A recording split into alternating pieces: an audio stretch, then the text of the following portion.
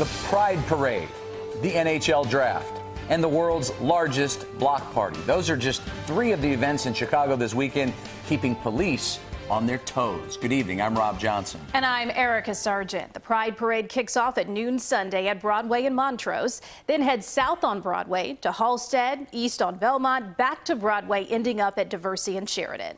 CBS 2's Audrina Bigos is live in Uptown with what you can expect. Audrina.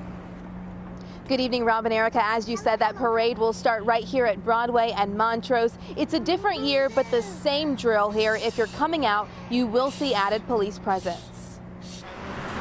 It's the calm before the fun in Boys Town. Before the streets are filled and anywhere between 250 and 400,000 people will line the parade route on Sunday.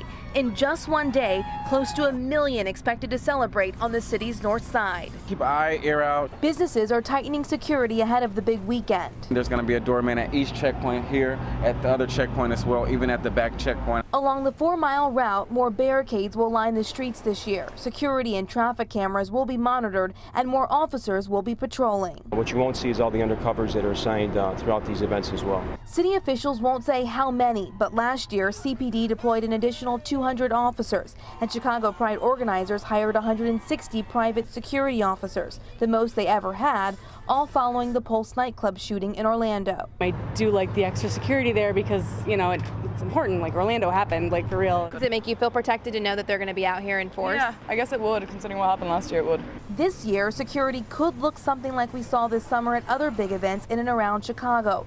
Officers with rifles drawn at the U2 concert at Soldier Field, or the armored vehicle parked outside the Allstate Arena for a concert last month. The CTA is adding additional trains and buses to help people get around quicker and safer. And the emergency command center will be fully staffed this weekend so officials can keep their eyes. Excuse me, there's kids uh, running around our live shot, but police will be keeping an eye on everything out here. Live in Uptown, Audrina Bigos. They've, they've been spending a lot of time with uh, Audrina tonight. They are too excited to see her. We That- hear them throughout. That's Yeah. better than a photo bomb. That's it. a live shot bomb right there. Thank you, Audrina.